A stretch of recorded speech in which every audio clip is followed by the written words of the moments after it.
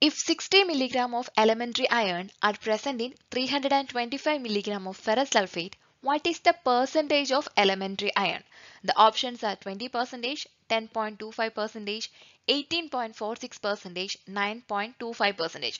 So elemental iron refers to the pure form of iron that can be ingested and utilized by the body. Or else we can say that it is the amount of iron in a supplement that is actually available for absorption and it's important to know this when determining the dosage.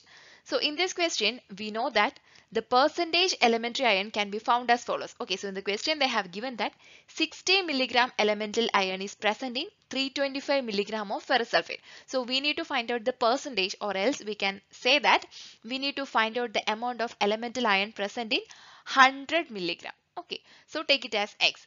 Then find out the value of x by cross multiplying that is 60 into 100 divided by 325 that is equal to 18.46 percentage. So here the correct answer is option C.